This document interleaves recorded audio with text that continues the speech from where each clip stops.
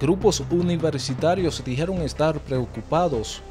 por la situación que se está viviendo en la Universidad Autónoma de Santo Domingo Recinto San Francisco con relación a los estudiantes de medicina y además rechazaron el examen único de competencia para ejercer la medicina en el país. Hay una división en nuestra carrera que me preocupa, un problema que es plan 13 y plan 14. Entonces,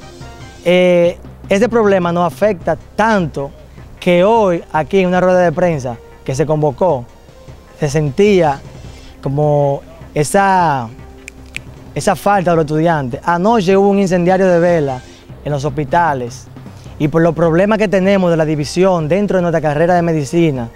solamente habían 10 estudiantes de medicina